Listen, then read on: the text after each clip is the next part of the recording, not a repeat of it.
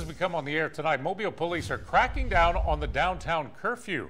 Police say there have been several complaints of minors running the streets, leading police to increase enforcement of an ordinance already on the books. NBC 15's Corey Pippen joins us now. Corey, soon parents will pay hefty fines if their kids are found breaking the rules.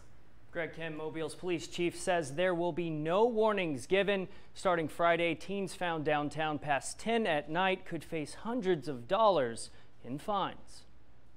Breaking the rules of Mobile's downtown streets is about to get costly.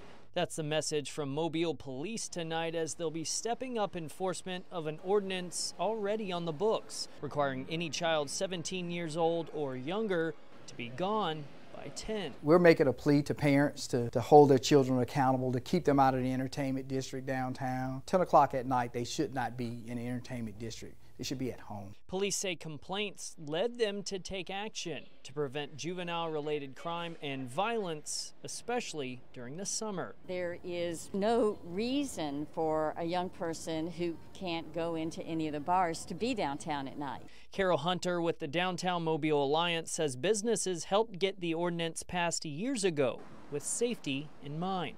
All they can do is be in the streets uh, with uh, an older crowd. Donald Robinson says he's seen many kids riding scooters dangerously, even causing property damage in Bienville Square. That bench that was tore up. They had taken welded back together because one guy tripped off the scooter and hit the back, and the whole thing collapsed.